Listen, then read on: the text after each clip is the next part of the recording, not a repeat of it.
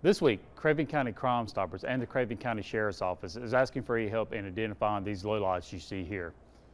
The suspects are wanted for questioning for an attempted burglary which occurred on Wilmar Road in northern Craven County during the early morning hours of Thursday, June 22nd.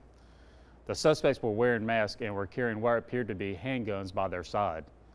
Thankfully, no entry was ever made into the household. This is why it's important to take steps to keep your windows and doors locked while taking additional steps to protect your family and property.